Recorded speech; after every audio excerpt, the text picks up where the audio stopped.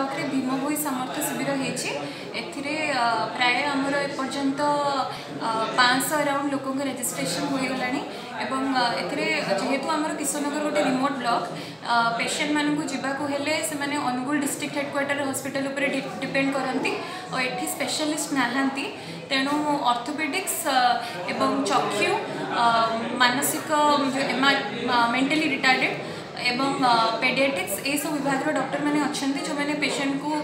देखिकी तर जहाँ अच्छी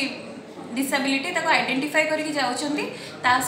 आम गोटे आइडेंटिट कार्ड दौ जो परसेंटेज ऑफ डिसेबिलिटी लिखा होनी कि सरकार के द्वारा विभिन्न जो सुविधा सुजोग अच्छी से मैंने से आइडेंट कार्ड द्वारा मैंने पाई एवं जो आज जो मानक आईडेटिफाई है केसेंटेज तरह भिन्नक्षम से मैंने সেই সেটা আইডেন্টিফাই হলা পরে সে মানে ডিস্ট্রিক্ট হেডকোয়ার্টার দ্বারা আমাক সার্টিফিকেট মদু প্রোভাইড করা দিব সেই মানে সার্টিফিকেট পাইলে পরবর্তী সময়ে সরকারৰ যে বিভিন্ন যোজনা আছে যো মানসিক বিকাৰকক পাই আৰু যো মানে আছে অৰ্থopedic ডিসেবিলিটি সে মানে পাই সে মানে পাই পৰিব আৰু ক্যাম্পৰে ভিড়ৰ মাজে আমি এতি পই দেখুচোঁ কি হেতু এইটি লোক মানে যে প্রাথমিক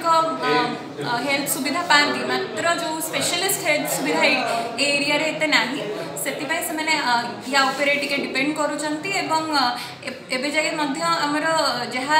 আছেন সব বিভাগর ডাক্তার মধ্য সমস্ত ব্যস্ত আছেন পেসেন্টকে দেখিবে এবং ডিস্ট্রিক্ট অ্যাডমিনিস্ট্রেশন আনকো সাহায্যক মিলিচি এবং সাধারণ জনতা কো আমি চেষ্টা করু যে আমি শুরু করার ব্যাপারে ক্যাম্প করা দিব এবং সমস্ত পাই মধ্য ভোজনর ব্যবস্থা হয়েছে সে করি যাবে এবং এপর্যন্ত ক্যাম্প শান্তি শৃঙ্খলার সহিত চালছে ম্যাডাম কেতে মাস ভিতরে সার্টিফিকেট পাইযে বলে আপনার আশা করছেন আমি আশা করুছু সে তো প্রায়